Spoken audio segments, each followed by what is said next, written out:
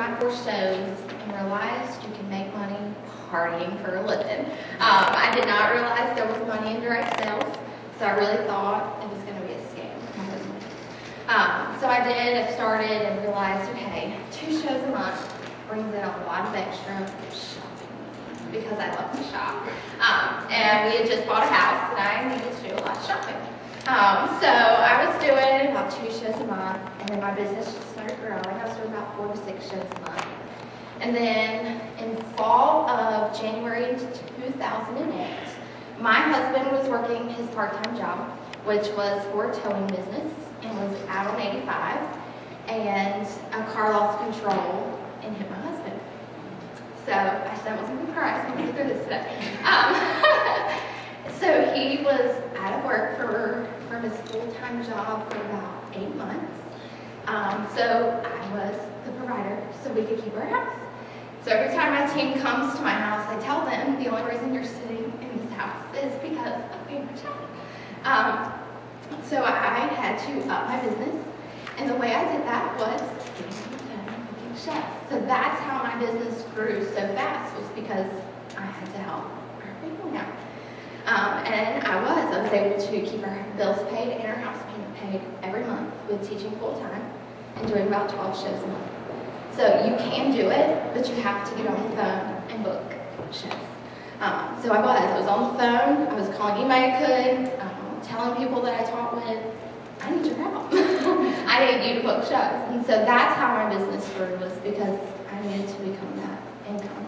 Um, and so I kept doing 12 shows even after he was able to go back to work because after we saw the income that this business could bring in, we realized, you know, this would be nice to eventually have as a full-time job once we're ready to start a family.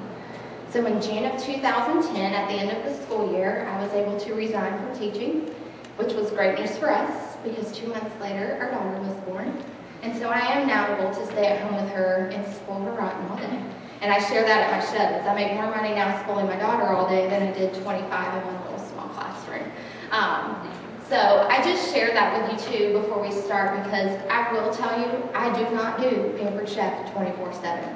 My business is open 24-7, but I don't work 24-7. Um, a lot of people think I'm probably in my office all day. No, I am chasing a two-year-old all day. Um, so I work in my office around her schedule. So when she naps, that's when I work. And then um, our girl room can probably tell you, last night, um, I stay up at night sometimes because I, I can't go to sleep after a show. I'm like ready to go.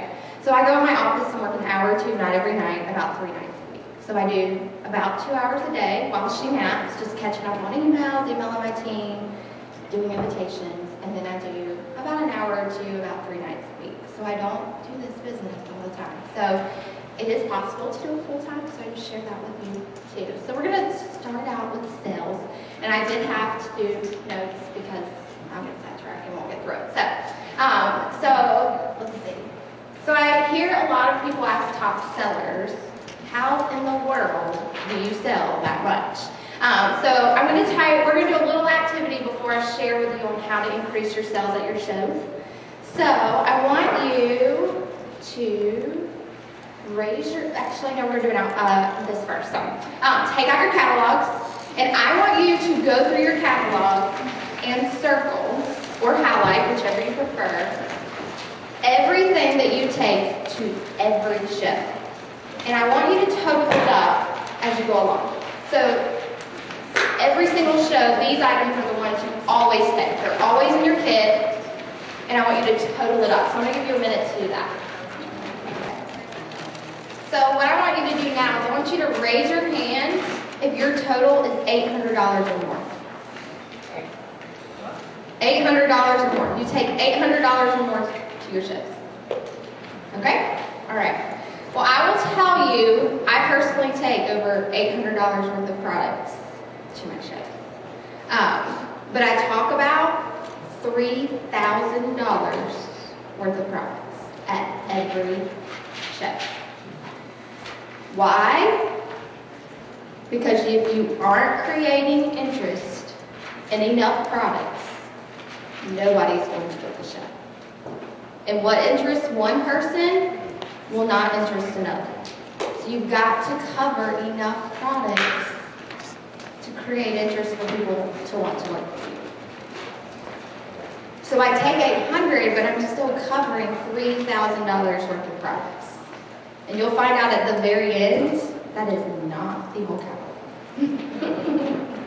so let's do a little visual. I'm trying to keep you active for this because I don't want to stand up here and be bored the time. So stand up if you have the classic batter bowl. All of you will okay, stay standing if you take it to your shows. I would be sitting. All right. Um, stand if you have the classic batter bowl and the stainless steel mixing bowl. Stand if you have both. Okay. Stay standing if you take the stainless steel bowls to every show. About half of you sat down. Okay? All right. So all of you can sit down. So all of you have the batter bowl. How much does the batter bowl cost? How much is the batter bowl? $16 now with the new category, okay? How much are the stainless steel bowls? $84.50, okay? Yes, I know, the stainless steel bowls are bigger, but they do not weigh more than your classic batter bowl. They're lighter, okay? Well, they will bring you in $68.50 more commission than your classic batter bowl. So why are you taking the batter bowl to your show? I don't want to know Okay, so your batter bowl heavy. It'll bring you in $16. And it's fragile, you don't want to drop it out of the back. of the Your stainless steel bowls will bring you in $84.50. Okay? So that is one item right there that should be at every show. Now, you're going to hear Nicole in her show do a demo with the stainless steel bowls. And you're going to see why you need them and why they need to be at every show. 99% of my October shows booked for the stainless steel mixing bowls. 99% of my October shows booked a show with me for my stainless steel mixing bowls. Now, if you don't have them, you need to host your own show and make that the top item on your list. So you, this month you have to have a $650 show. But with a $300 show, you can get them half price. They need to be the top item on your wish list. And you'll see why when she does her show demo. Within two shows, if you haven't sold at least a set at a show, we need to talk. I will tell you, Nicole, you'll hear. it. Um, I sell a set almost every show, if not or two. Okay? Stand up if you've ever made a salad at your show. If you've ever made a salad at your show, stand up. Okay? Stay standing if you took the salad and berry spinner. Okay? Now I know some of you probably sat down, all of you can sit down now, because you don't have that piece. The salad and berry spinner is another hot ticket item. It's $60. Okay? I sell a ton of them.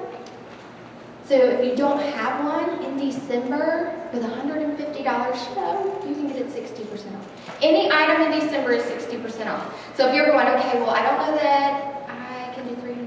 Well, in December, wrap up on all these items, but I say before so that you can book shows for December. So tell people, December show, you can have the stainless steel bowls for $33 and some change.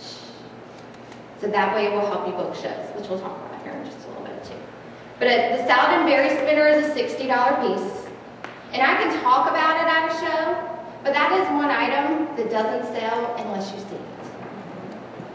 There are a couple items that don't sell unless you see it. Well, that thing goes over 32 miles per hour, so I tell people NASCAR has nothing on for show. It's got brakes, then it's got to go. Um, so that is another item that I take to every show that I do a salad. And people are amazed that I get a half a cup of water almost every, off every head heavy lettuce. And I'm not going to tell any more about that thing because Nicole's got you covered today with a show demo. So, um, so with me saying that, I'm sure you think I take a ton of products to my show. No, I'm in my host home within one to two trips from my car. Now, I will admit, I do not carry less, sell more, like Pampered Chef has done with their little tote bag. But I do, however, carry smarter, sell lots. So think about that. Carry smarter, sell lots. And you're your demo, or the example with the batter bowl and the stainless steel bowls is just one example. There's plenty. But along with carrying these items, you have to create interest. So if I were to show you, all of our things. Okay. Now if I were to just show you the salad choppers, then the card would Okay. I have a ton of scissors at home. I have kitchen shears, I have regular scissors, I have pruning shears, you know all this. Okay. I don't need another pair of scissors at home, do you? But when I open these up, we'll tell you, okay, they lock on the bottom, great for chopping salad, chopping up meat. They have a lifetime warranty. They can go in the top rack of your dishwasher, get them clean. Anything happens to them, Pampered Chef will replace them. You've sold. So you have to create the interest, but you also have to know about the product. So I will tell you, I've done 649 shows. I have sold over 800. It's my, it's my number. You can do a search on P3 to find out what's the top selling items in my number one item I sell. Because I talk about it and create interest with it. Sorry, I put your salad choppers back. Okay. Um. Okay, so you'll get to see those in her demo too, but that, I created ton of interest on those and I have people call me at Christmas. I've already had one lady order eight for all the stockings in her family this year. So, um, you gotta create interest for those. Um, we have to educate ourselves on our products, and I do not know everything about every item in our catalog. But my goal is to pick up tips at every meeting and training that I go to. Plus, I use the products a lot. And I do my own research online, trying to compare our products to others, listening to other consultants. There's a ton of YouTube videos of consultants. So if there's a product that you want a little more information about, let's say the grill pan. There are countless YouTube videos on her grill pan. Go to YouTube and just take 10 minutes, you know, a week and educate yourself on some of our products from other, you know, consultants out there. I know that if you go to our team page that Anita has worked so hard on, um, there's a demo of me doing the food chopper. Nicole Stainless Steel Bowl demo is out there. So there's a great- lot of ways to, you know. Um, so we do have to educate ourselves on our products. You also can use the catalog to showcase the products so that you don't have to take them, all the products to every show. So I will tell you how I do my catalog. This is my catalog that I take to every show. And I have it tabbed so that I can use it during my show demo. Because I do not take the knife block to every show, but I talk about the knives. So I have it marked. There it is. So it's cutlery and it's tabbed, so I can go right to my cutlery tab and say, okay, if you'll turn with me to page 52 and 53, and then I go into talking about our cutlery. So I'm not carrying everything, but this is over 400 and some dollars worth of products that I cover right there. And then you can say, go to your cookware page. I mean, our cookware is like $1,500 worth of stuff that you can talk about right there at your show. And I talk about all three lines. And then I also have it tabbed, the pink ones are charitable giving pages because I cover that at the beginning of my show, talking about how they can help us with the American Cancer Society and for Feeding America. So if you haven't done this, I train my team on this at the beginning of every season, and we go through and tab like the big section. So I have like cookware, bamboo, um, the cutlery, and the stoneware, um, and then our seasoning mixes too. So, let's see. All right. So now you are probably thinking that this is half the book that I talked about. But does anybody know how much it were, how much my total would be if I ordered one of everything in the catalog from you except the gift sets and except for the items already in set? So like I wouldn't order another 10 inch skillet because it's already in the cookware set. Does anybody have a guess of how much my total would be if I ordered one of everything from you in the catalog? Twenty-five thousand dollars. Well, Eight thousand. Maybe twenty-five is a little. Seven forty, okay, anybody else? Forty-five. Forty-five thousand, oh, forty-five hundred, okay. Anybody else? Anybody else have a guess? Well, Jenny's closest, she's getting pregnant says my business is great. There you go. It would be eleven thousand, eight hundred twenty-two dollars and fifty cents. Wow. Yes, I went through and totaled that for you right Wow. before this. So, um, eleven thousand eight hundred twenty-two dollars and fifty Wow. cents. And I'm just asking you to talk about three thousand dollars worth of stuff at your shows. So I'm not asking you to cover the half the catalog, I'm gonna ask you to cover a third of it. So eleven thousand eight hundred twenty-two dollars worth of products that we have to share about at our show. I was amazed at that myself, so that's why I did it too. All right, so let's see. All right, another reason that I feel my business is where it is today is because I set goals, and I am a huge goal-oriented person. So raise your hand if you set a weekly goal for yourself. A weekly goal, okay? Raise your hand if you set a monthly goal for yourself. Okay? Raise your hand if you set a long-term goal for yourself. Okay. So I see a lot of hands down. I would not be where I am today if it wasn't for my goals and me going after them and meeting them. So I'm going to share some examples of what my weekly, monthly, and yearly goals are, and we'll go back and talk about a couple of them. So a weekly goal, I have a goal of every week I'm going to do a specific number of shows. I make at least four. So if you want a successful business, you have to be earning the monthly Pampered Chef promotions by doing at least two shows a month. So stand up again if you've earned the bracelet with two shows in September. Yay! So if you want to do two shows a month, and you book three to four, and nobody cancels, and you end up with four shows, not only do you earn free stuff, but you earn more money, right? So it would be a great month. So that's what I tell my team. If you want two shows, book three to four. The worst that can happen is you have some more money. So raise your hand if your business is exactly where you want it. Okay, good. All right. Um, raise your hand if you make three contacts every single day.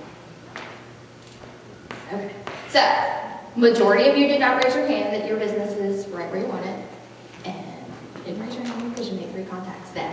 So we're going to talk about a little bit about that now. So I tell my team, if you can't make three contacts a day, make it your goal to make 21 contacts a week.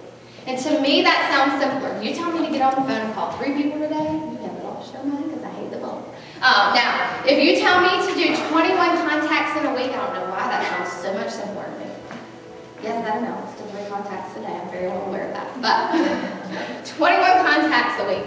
But then you have to keep up with that. You have to find a way to record it so that you make sure you're making 21 contacts a week.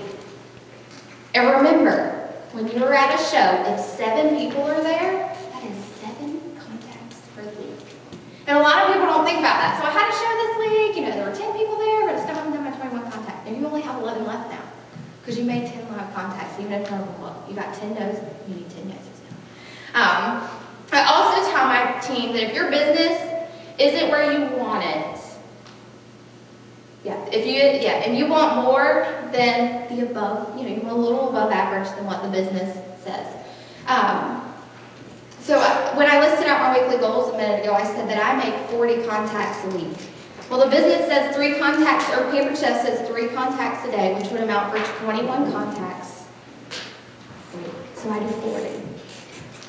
And I meet that goal every single week unless I'm on vacation. So you are not going to have a business without contacting people.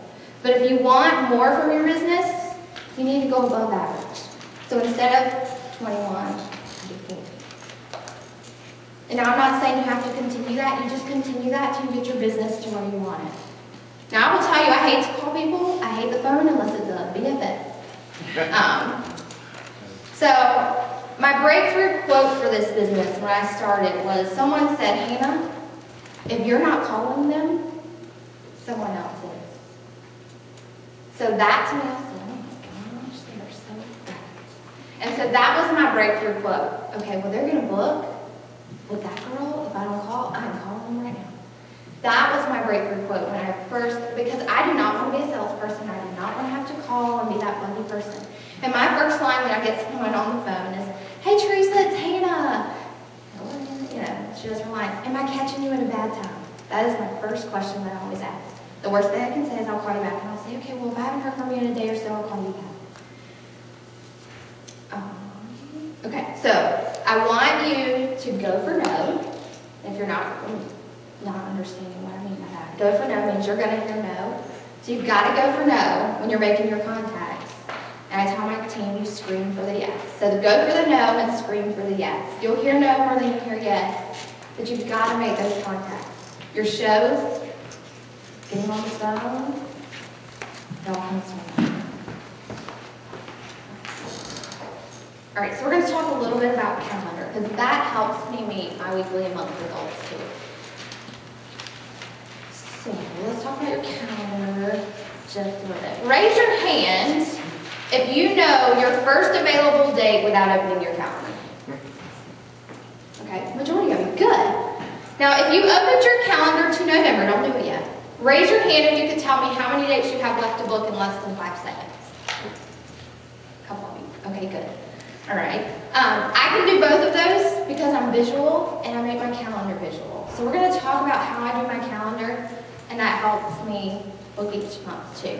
Now before I open my calendar, you are not allowed to compare yours to mine because I do the number of shows that I need to do for my family and then some. Um, I'm simply showing you how I keep track of my shows, not telling you your calendar needs to look like mine because that's not my goal. Yours needs to look like yours. So I'm going to show you my November and hope nothing falls out of my calendar when I do this. Okay, so this is my November calendar. So everywhere you see a blue sticky, sorry, this microphone be under, we're going to talk a second. Can y'all hear me? Okay. So everywhere you see a blue sticky is where I want to show. So the only blue sticky that is open is Monday, November 19th. I have one show left to book for November, and it stands out to me that quick. What'd you say? Oh, these are extra stickies in case I, as Nicole will tell you, I don't say no. Um, she said, she calls me, did you say no to that? Um, so everywhere there's a blue sticky or a yellow one, because I ran out of blue or whatever, that's where I want to show. So this is what we're going to do right now, is I brought extra stickies. So if your calendar is not sticky, like mine, and this is something that would work for you, I want you to grab some stickies. And you're going to do November and December. I want you to put stickies everywhere you want a show. So I'm going to pass the background, and there are more than enough. Just take a stack of these and do your count.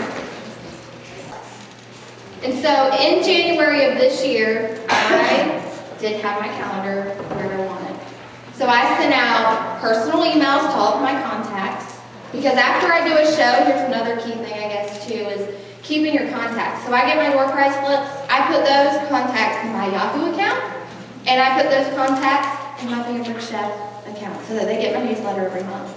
And let's say January rolls around, or November. Let's just do November because it's the next month. Let's say your November is not where you want it, and you need a lot more shows. I send out an email from my Yahoo account and run a special. And I email it to all of my contacts. And so in January, that's what I did it this year. I just said, book a show with me for one of these January dates, and you can pick one of these products for free. Now, if you're going, I don't have any products to do for free, depending on what the host special is some months, I'll offer the host special for free. They get to pick one for free instead of 60% off. Do not do that for one month. Um, or ninth month. But um, I've done that, but in January I did, you know, no more than a $40 product. It was items that I had earned in my director kit. Um, and I booked every single one of those dates through email. Now, I don't rely just on email to book my shows, but the reason I share that with you is because I had about seven dates that I still needed booked. Booked them all through that email that I sent out. But because my January started out strong, that's how every month this year has been able to stay strong. And I look at my calendar, so you have your stickies now, and by October 31st, November is booked. And so I can see how many blank stickies I have, and I do not want to be up at midnight on Halloween calling people to book shows because they're not going to answer because they're partying. Um, so I book way before the 31st. But if that's my goal, I need it.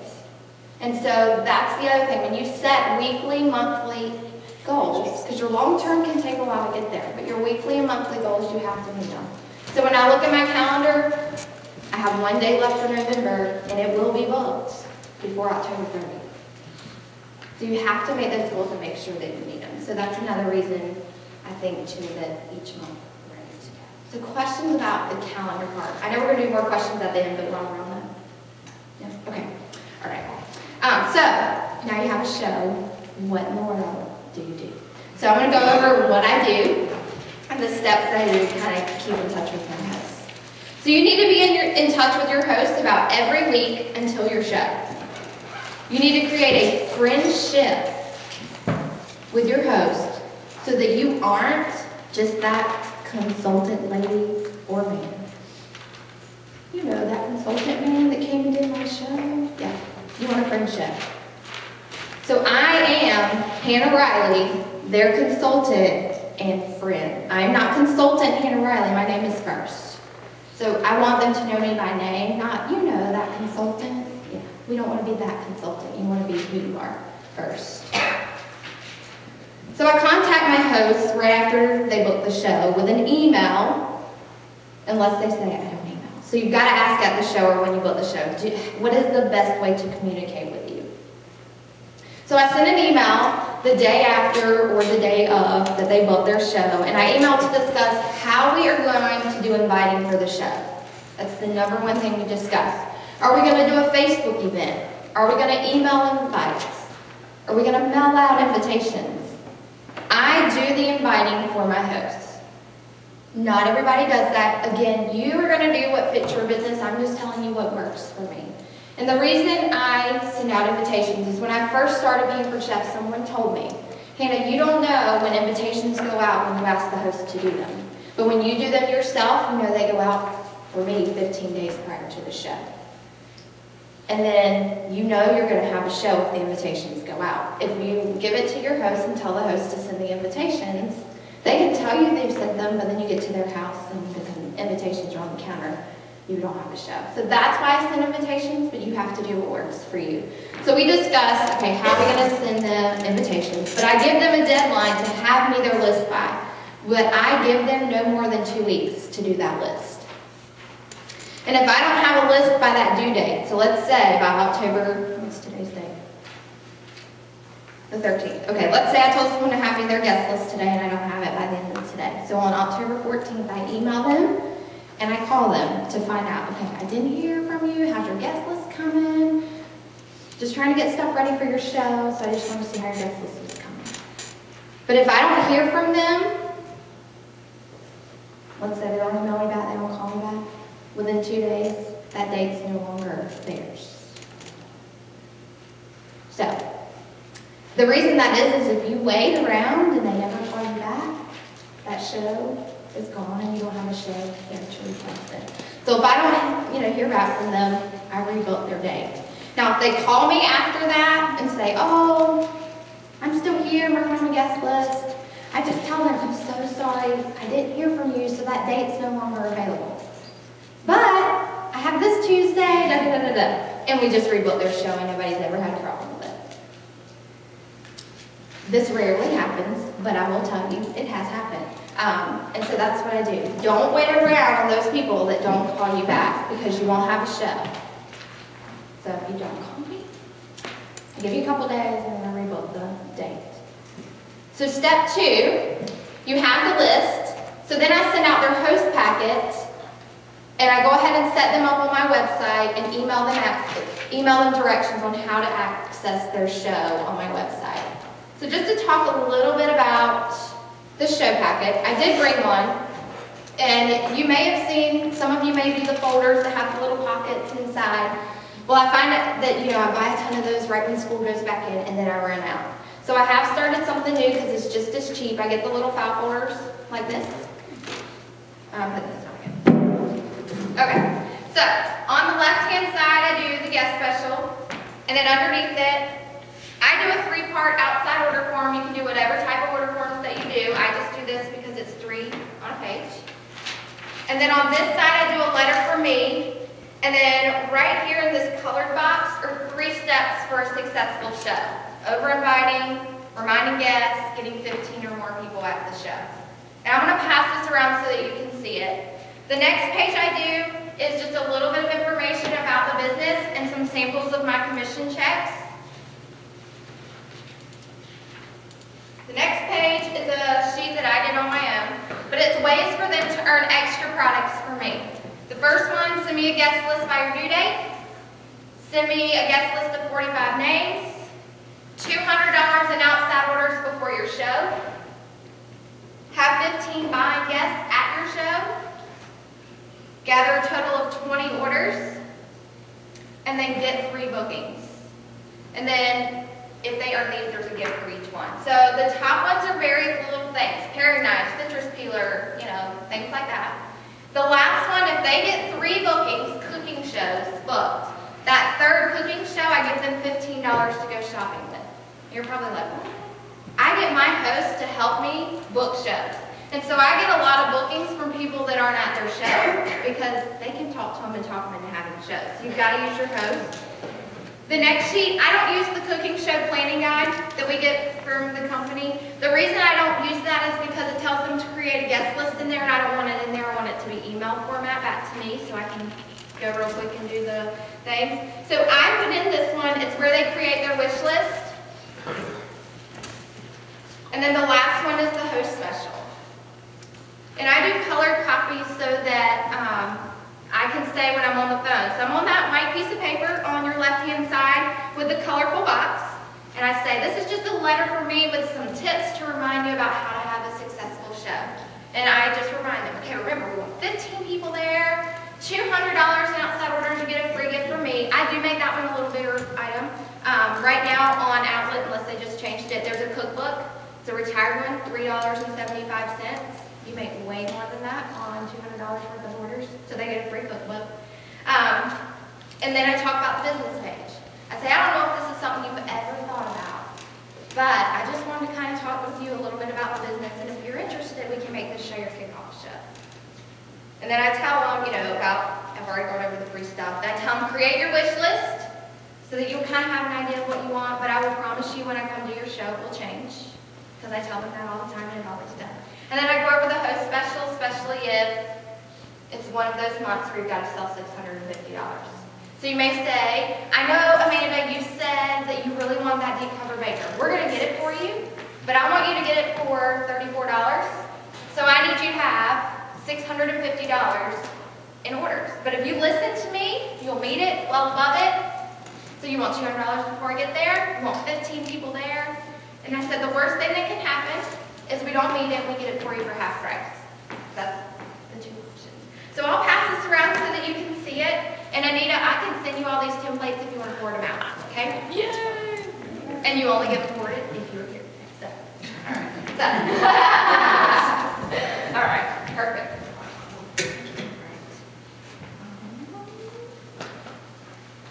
And then, um, I also send them directions on how to have their friends order online. Now, I will tell you, sometimes when you go in and you go to your website and you click shop online and then enter the host name, it can get a little confusing. So I'm gonna give you one little tip. Once you set a show up online, if you go to your website, click shop online, type in the host name, then their name pops up in blue, click it, and then copy the web link after you click it. That is a direct link to their show, and they don't have to do all those steps. Do you want me to repeat that again? Okay, all right. So set their show up on your website. Go to your website and click shop online. Enter the host name. So you're doing the same steps you tell them to do. When their name pops up, click it and then copy the web link. And I send that web link to my have, that's awesome, and in addition to that, I don't know if this helps, but I have started in, on my web page, under stories or notes, like for my fundraisers, I put a note, how to order for this fundraiser. And it has those directions Right. listed under there, so Yeah. that helps too. So that's just, but that's what I do because the direct links help more because I can't tell you how many orders have been placed on pamperedchef.com or Hannah's website and they didn't enter the host. And I can't go get those orders and give the host credit. So I do send them that direct link. If I set up a Facebook event for their show, that link is all over the Facebook page. So all they have to do is click that. Hannah, can you repeat that one more time, please? Yes, so set their show up. Okay. Go to your website and click shop online. Enter the host name as if you're gonna order. And then it's gonna pop up in blue, so you click their name and then copy the link up at the top. Can I ask a question? Yeah. Have you ever gone in as like going to one of your hosts? Well, then you cancel out and pull it back up. So you hit shop online, it takes you right to that other host. How do I get out of the? Sometimes you have to give it some time. That's, yeah. Well, that's what I'm, that's what it's like I'm just shutting the whole computer down and just pull it back up. And then it'll finally. You can- go to another person. I, I have the same problem. There's not a way to log out. There's not a log out button on that. There's not. All right, step three, call your host to review the show package. Okay? Your host is not gonna read everything in that packet, so I have to summarize it for him. Now, if I have a host tell me, you will never get me on the phone, then I do have an email that I send, but I do my host packets by phone. Um, and it takes me, I can do my host packets in about five minutes. It really is not a long phone call. So I just tell them I need just five minutes of your time, and I kind of just paraphrase the whole host packet for them. Step four, about a week prior to the show, let me go back one second. The host packets, I get out as soon as I get a guest list, because I want them getting orders as soon as they can. So send the host packet as soon as you have a list, because I find if I get a guest list, the only reason they cancel is due to like really extreme circumstances, which we don't ever wish on any host. But those are the only reasons I usually get cancellations with that list. So then step four, about a week prior to the show, I email recipe choices. And I know some of you put those in your host packets. I do not because I look at this as one more way I can keep in touch with my host. And I find this is the email they're waiting on. Um, they're so excited. Half of them email me before time and say, are you going to email me about the recipe choices? I said, yeah, I I was going to do that the week before, but let's go ahead and talk about it now. Um, so, um, and the reason I did, I won't tell you that, never mind. Um, well, I'll go down for the set. The reason I do that is because our newsletters go out at the beginning of the month, and I had a host open my newsletter and buy all the ingredients for the recipe in my newsletter, and not for the recipe choices we discussed. Now, I winged it. I made a totally different recipe with the ingredients she bought using my magic pot. Uh, but the re- that's the, re- the reason I do that is I email about a week prior so that if my newsletter has gone out, then we'll recipe. So, just a funny story. So we wing it and make it work. So I email about a week before, remind, telling her to remind the guests, $200 and outside order. I do all those reminders again, and we discuss recipe choices. And I give my host three to four to choose from, and let her pick from those. And now I will tell you, I can count on my hands and my toes how many times I've been asked, can we do the taco ring? Hmm? No. so, what do I say when I hear that question? The taco ring is a great recipe. If you want to make it prior to the show, that's great. But I don't make that at my show only because my goal is to show you how to make dinner in 30 minutes or less. And I know that's a quick recipe, but folding crescent rolls takes a lot of time. Um, so I have hosts that make it before the show, but I do not make rings at my shows. But that's a, you know, you have to decide what works for you. Um, okay, so then I call the host, step five, I call my host three to four days prior to the show to review what they'll need to do before I get there, which is just buy the ingredients. Make sure they have a standard size microwave. And if they don't, I take mine. Now, and I'm sure, like, people laugh at me all the time when I show up with microwave. What else do you have in your car? Um, but I do. I went to a show. They told me they had a standard size microwave. Got there, it was dorm size. I went to Walmart and bought a microwave because Walmart was right beside our house. And it was the best investment because now I can say, well, do you have anywhere I can sit mine? That's all I said. Do you have somewhere I can sit mine? And that way I can still do my magic pot show if that's what they want. Or if they wanted a grill pan show, we can switch, or I just do a grill pan show. But I do have a microwave, it's a tax write obligation, um, so that I can carry that big old thing everywhere I go. Um, and then I tell them again when I will arrive, because I go to my shows 45 minutes early, OCD, so I have to be set up ready to go. And I figure out how many guests they're going to have. Because the worst thing I could do is call, I take 20 catalogs to my show, but if I call Holly and Holly says I have 25 people coming, I take 30. So I want to make sure that I have enough of everything. How many guests do you think you have coming? And then it's showtime. So, um, I'm gonna see, do any of you have questions on what I've covered so far? I'm gonna come back up again in a little bit, but questions about what I've covered so far? So can you still send out the postcard invitations for your host? I do postcard invites, not the mini catalogs. Now, I know a lot of you have great success with the mini catalogs. The postcards have worked for me, and my goal is to try and keep my expenses as low as possible, and those are cheaper to. So you don't use the email invitation at all? I mean, you know, I've gotten to the habit of just sending out an email invitation to my host for her to send out to uh, her guests. I used to sell, put- uh, used to sell postcards when I first started, but I stopped that. Okay, So you've always done the good question. My goal for my hosts is to send me email and let me do Facebook. That's my goal. And the reason I like those are because if I send email invitations, I know they're getting reminders because it sends out from our website three days prior to the show. Also, if I can set it up on Facebook, I do not want them to set the, the Facebook event because I want to be the admin so I can put as many comments out there as possible and everybody will see it. Um, so don't let your host set up the Facebook events, do it and have her do the inviting. Um, but that's my goal is for them to do those. But I do still, you know, there's a lot of people out there that do not have email. So I usually get a little bit of mix. They'll send me a few addresses, a few this, a few that. Um, but the other thing I find too with a Facebook event is they'll invite people that weren't on the guest list. Thank you.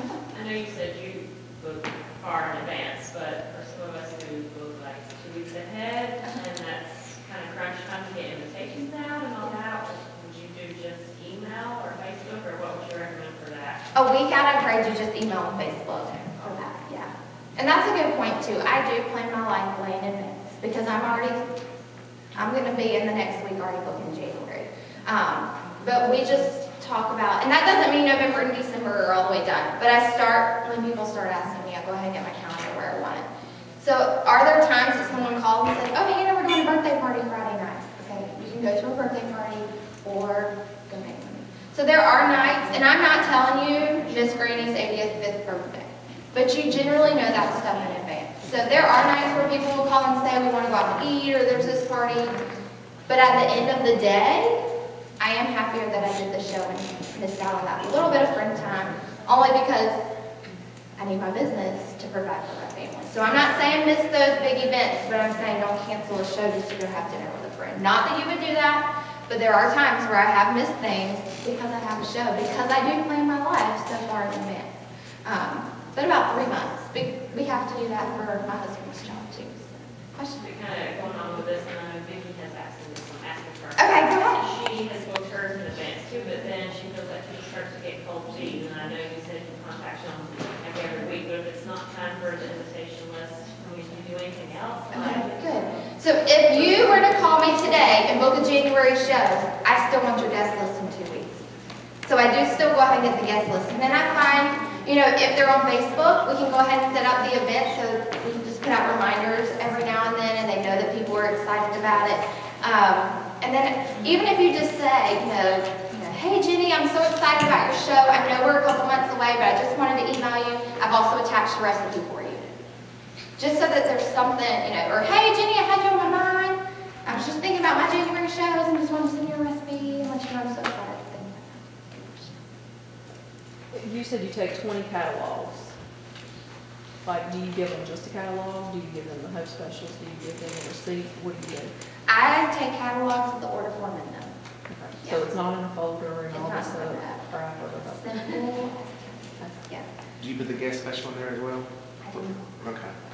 And I know some people do the lot boards and have those in there. I try to keep, again, my expenses as low as possible, so I don't run the copies. I have a copy of the guest special with me. Like the months we have pink products, I pass a copy of it around, and that has worked. And I also have a copy to check out, but I don't have a copy for each one. I take one of those tabletop display, the the Mhm. Yeah. clear ones, I slide the host special in there, put it on the coffee table next to the catalog, That's good. and then put it on the checkout table. It makes it easy. Anybody else? Oh. Back to the calendar. okay, that's okay, go ahead. What time do you start and what time do you end? Oh, for my shows, okay. Three calls a day. Oh, That, I'm- My phone calls, okay. Um, so I will tell you, if it's a night that I don't have a show, I will start phone calls at eight o'clock after I put my daughter to bed. I do not call anybody's house after nine.